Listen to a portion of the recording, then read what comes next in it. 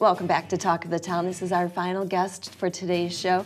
Ever wondered the difference between a bank and a credit union? Our next guest will tell us what that is.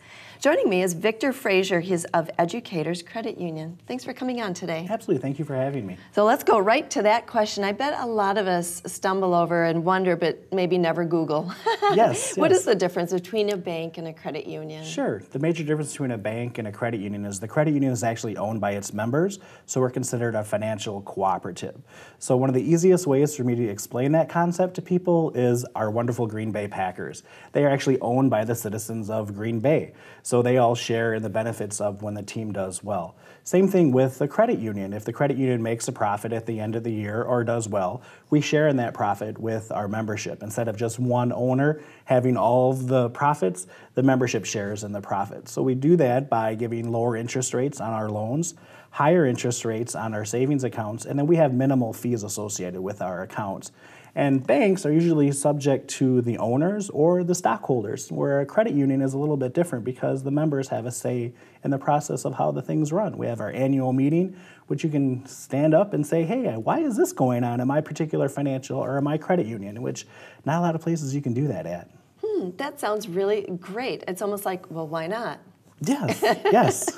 What's the history of Educators Credit Union? Wonderful. Educators Credit Union was founded in 1937 in Racine, Wisconsin, and it was called Racine Teachers Credit Union back then. And it's a wonderful story. It was a lady that had moved up from Illinois, and she'd been teaching in the district for about 10 years, and she couldn't get a mortgage loan because back in those day and times, women were subject of the men in the house. So she didn't have a father, she didn't have an uncle or a brother that lived in the town, so nobody in Racine would give her a mortgage for a house.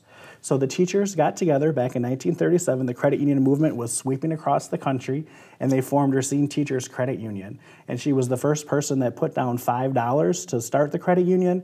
And fast forward 80 some years later, and we're still only $5 to join Educators Credit Union. And we really still have an emphasis on providing solid financial education for our membership. And you're open to everyone, not just teachers. Correct. We are a community charter credit union, so anybody that lives or works in one of our communities that we serve can certainly join Educators Credit Union. Now, Victor, you're the director of community engagement. So, what's mm-hmm. a typical day like for you? Oh, the wonderful thing about my job is that there are no typical days at, at all. Um, I get to be with you this morning, which is a great experience, and then later on this afternoon, I'll be at Marquette University speaking to a group of, group of young people that are in a program called Upward Bound, where they're in a summer school program to get them ready to go to college. And then later on the, this after or this evening, um, I'll be attending a, a, board meeting for UDO. Um, I'm sorry. Uh, MPS is having a board meeting because one of our branches is actually inside of a high school, so we have to go every year and, and get approval. Uh, so there really is no no typical day at, at, all. There's not a nine to five at all. There's no banker's hours that a lot of people think to think when they think of finances. Variety is the spice. Mm-hmm. The financial literacy is actually really important to you folks. Mm-hmm. As you mentioned, you were going to the school, mm-hmm. and you wanted to talk a little bit about credit reports today. Sure. What did you want to share? Yeah, just that people really need to understand how important your credit report is and how actually that number can affect and impact your life. If you're not familiar with what that number is, there's a bunch of ways you can get that number now. But really, the thing that people don't understand is that credit reports now are being used for various other things in your life. If you're thinking about getting an apartment, your landlord is most likely going to check your credit report. A lot of times, if you're applying for a job nowadays, your employer is going to be checking your credit report. And even insurance companies are basing your rate based on your credit report. So long gone are the days where your credit report was simply tied to borrowing money. That's really good to know.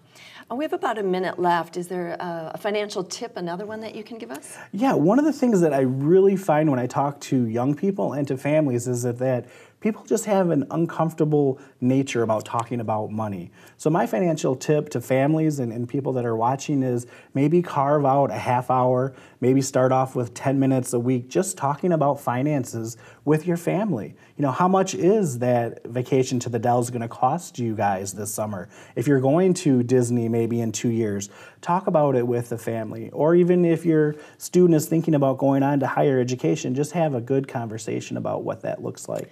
And how many of us have said, if we would have only known when we were kids how important money is and such. Absolutely. We're about out of time, but why are you so passionate about this? Uh, I'm so passionate about it because I'm the youngest of seven kids and the first one to go to college in my family. And we didn't have these conversations. So I learned a lot of bad habits mm-hmm. from my family, and it really took me until I was in my late 20s to kind of figure it out.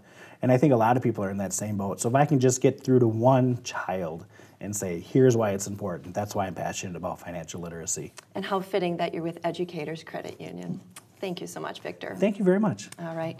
Victor is with Educators Credit Union. They have many branches. You can check them out online. And that's it for our show today. Thank you for watching. Thank you to all of our guests. And we'll see you again on Talk of the Town.